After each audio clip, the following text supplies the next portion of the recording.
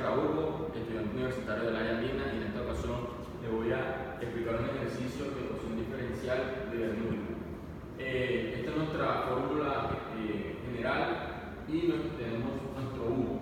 Y este es nuestro ejercicio que dice x por y' menos y es igual a x cuadrado sobre y cuadrado. En este caso lo que vamos a hacer primero es dejarla en función de la, de la fórmula general. Entonces para esto x. Entonces, esto entre x, entre x por un x. Entonces, este se va con este y nos queda y' menos un x por y es igual a x y a la menos 2.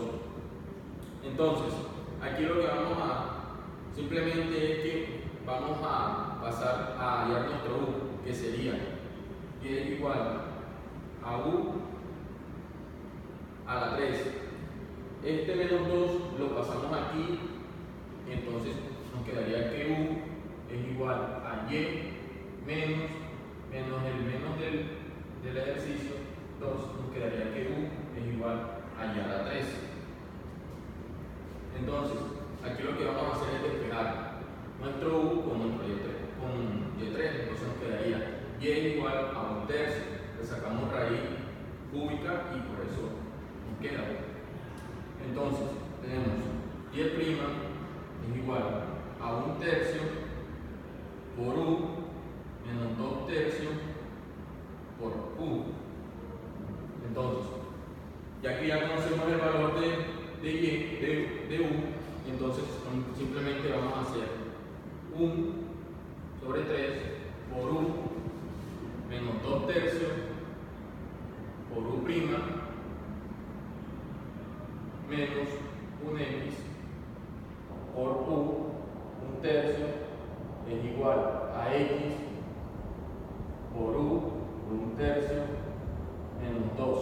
Aquí lo único que hicimos fue reemplazar, ya que tenemos nuestra y, eh, lo que hicimos fue derivarla y reemplazar en nuestra ecuación eh, secundaria. Y nos quedó un tercio por u a la menos dos tercios por u', que es este valor, menos un x por u a la tercio es igual a x por un tercio a la 2. Entonces lo que vamos a hacer es simplificar.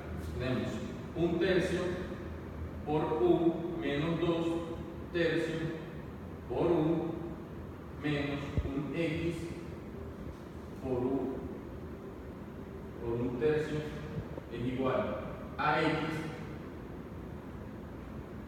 a la 2 tercios de está elevado y lo que vamos a hacer ahora es que vamos a eliminar esto y esto para que nos quede para hallar nuestro p de x y nuestro q de x en esta en general entonces por 3u a la 2 tercios siempre que tenemos aquí nuestro u, siempre vamos a buscar el signo contrario para poder eliminarlo. Entonces, al dividirlo, al multiplicarlo, lo que vamos a hacer es que nuestro u va a quedar solo. Esto se va con esto, nos queda menos 3x u igual a 3x. Este se va con este y este que queda multiplicando a esto nos va a quedar 3 sobre x por u esto se va y nos va a quedar 3x. Entonces, vamos a sacar nuestro p de x de esta fórmula. Nos dice que es el que acompañando la 1. Entonces, p de x es igual a menos 3 sobre x.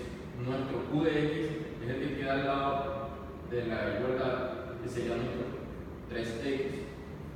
Y entonces, ahora ya que tenemos nuestro P y nuestro Q, vamos a hallar nuestro U. Y nos dicen que U es igual a Euler menos la integral de P de X por su diferencial de X. Entonces, U es igual a R menos la integral de nuestro P de X por su diferencial de X. Lo que hacemos aquí es sacar nuestro 3 para que quede nuestro logaritmo solo y poder decir que U es igual a X a la menos 3. Aquí lo que se hizo fue el menos 3 elevarse al hay un otro al X y tenemos que W con el logaritmo natural se cancela y nos va a quedar que nuestro U es igual a X a la menos 3. Ahora simplemente lo que vamos es con una fórmula que dice U por U' es igual a la integral de U por nuestro U de X por su diferencial de X. Entonces, ya, ya que llamamos U aquí, vamos a reemplazarla y ya que tenemos nuestro u de x, vamos también a reemplazar. Entonces, u viene siendo x a la menos 3. Este mu se va a quedar igualito, igualamos a la integral de nuestro x a la 3, nuestro u de x, que es 3x, se multiplica por su diferencial. Aquí, básicamente vamos a sacar nuestro 3 y dejarlo eh, eh, integrar. Entonces, x a la 3, a la menos 3, por nuestro u es igual a 3, sacamos integro integral de menos 2 por nuestro diferencial de x. Entonces, x a la 3 a la menos 3 por u es igual a 3, integramos, bajamos, aquí tenemos un más 1, entonces bajamos nuestro signo nuestra x menos 2 más 1, nos quedaría menos 1 más la constante. Aquí básicamente lo que vamos a hacer es multiplicar y dejar y tratar de dejar nuestro u solo. Entonces, x a la 3 por u es igual a menos 3 x a la menos 1 más c. Aquí básicamente lo que vamos a hacer es despejar nuestro u, quede solo. Entonces, menos 3, esto que está viviendo está multiplicando pasa a dividir y nos queda a la menos 2. Aquí lo que se hizo fue que como quedaba x a la 3, nos quedaba x a la 1 y al subirlo lo que hacía un signo contrario y por eso queda positivo el exponente más la constante.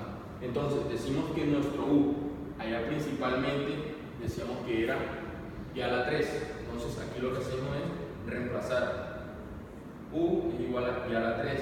Eso es igual a menos 3x a la 2 más la constante. Y así acabamos nuestro ejercicio.